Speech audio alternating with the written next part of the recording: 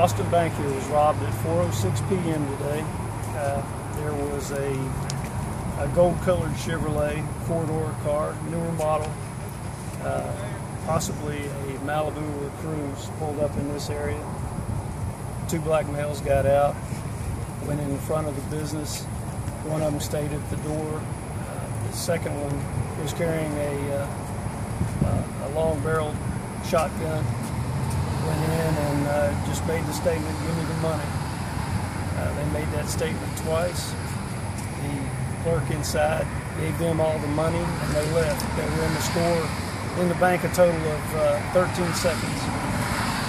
Uh, they left this way and drove down to the intersection and went southbound on Airline Road towards Longview. And uh, some people followed them and lost them around Henderson Lane, and that's the last we saw.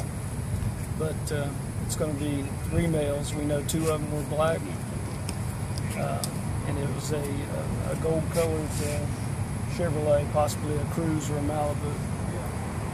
Don't have any other information at this time about the exact amount of the money that was taken or uh, any further on that.